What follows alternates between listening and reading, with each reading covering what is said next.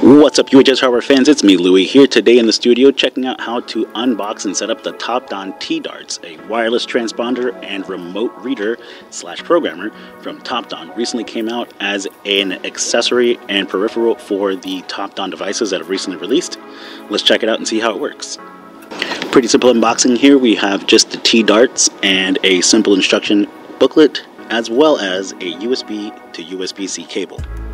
To set up the T-Darts for use, connect the included USB-C cable large side first into the Ultra Diag or your T-Ninja Pro, or take off the battery cover and insert four AAA batteries.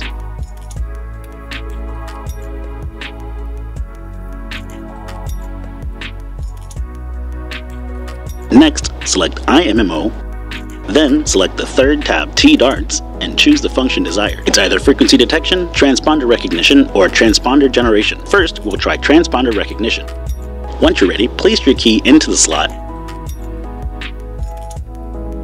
and push read on the screen to see all the information about the key that you've entered. The key type, the key ID, and find out whether it's been used, what type of code it has, and if it's rewritable or clonable. You can read the information of multiple different types of keys to make sure that they're exactly what you need before you go forward.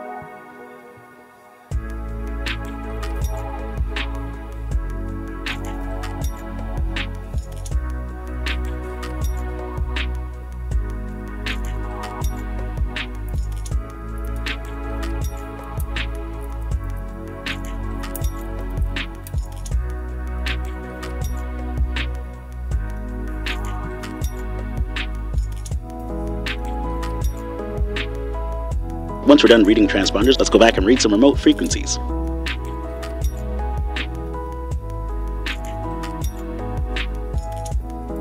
Once the dialog is on screen, simply bring a remote close to the T-darts and push any button desired to see what frequency you're receiving. It's that easy to use. Out of the box, connected, and ready to go in less than a minute.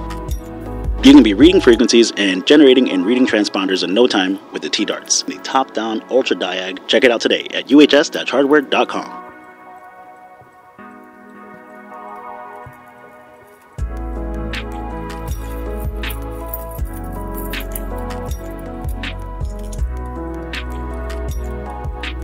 Once again, I'm Louie and I'm happy to have you guys here and show you what's going on. Make sure you are hooked up with our social media and that you're following us here on YouTube, that you like down below and click the notification button, click that bell so we can let you know every single time a new video comes out. And once again, have a great day. It's great having you guys here. See you later.